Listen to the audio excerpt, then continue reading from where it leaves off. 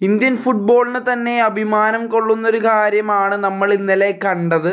ഒരു ഭാഗത്ത് ഇന്ത്യയുടെ അണ്ടർ സെവന്റീൻ ടീം കളിക്കുന്നു മറുഭാഗത്താകട്ടെ എതിരാളികൾ റിയൽ മാഡറിന്റെ അണ്ടർ സെവന്റീൻ ടീമും മത്സരം അവസാനിക്കുമ്പോൾ ഇരു ടീമുകളും സമനിലയിൽ പിരിയുന്നു മൂന്ന് മൂന്നെന്ന ഗോൾ സ്കോർ ലൈൻ എന്തായാലും വളരെ നല്ലൊരു റിസൾട്ട് ആണെന്ന് തന്നെ പറയേണ്ടി വരും. അതുമാത്രമല്ല മത്സരത്തിൽ അവസാന നിമിഷമാണ് ഇന്ത്യൻ ടീം സമനില പിടിച്ചത്.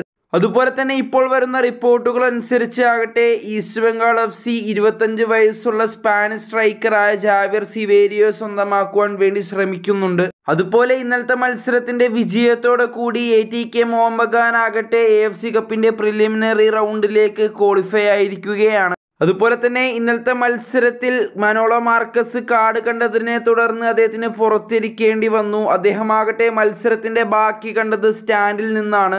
ഇതിൽ സങ്കടകരമായ കാര്യം എന്തെന്ന് വെച്ചാൽ മനോളോ മാർക്കസിന്റെ അവസാന മത്സരമാണ് ഹൈദരാബാദ് എഫ് സിയിലെ ഇത്. ഇതുവരെ എഴുപത്തി ആറ് മത്സരങ്ങളാണ് ഇദ്ദേഹം മാനേജ് ചെയ്തിട്ടുള്ളത്. മുപ്പത്തേഴ് മത്സരങ്ങൾ വിജയിക്കുകയും ഇരുപത്തൊന്ന് സമനില പതിനെട്ട് തോൽവിയാണ് ഇദ്ദേഹത്തിന്റെ സ്റ്റാറ്റ് ഉള്ളത്. എന്തായാലും ഹൈദരാബാദ് എഫ് സി ടീമിനെ വളർത്തിയതിൽ വലിയൊരു പങ്കുവച്ചൊരു കോച്ചാണ് മനോളോ മാർക്കസ് എന്നതിൽ യാതൊരു സംശയവുമില്ല.